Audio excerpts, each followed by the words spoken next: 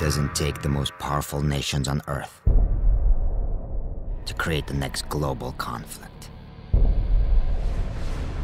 Just the will of a single man.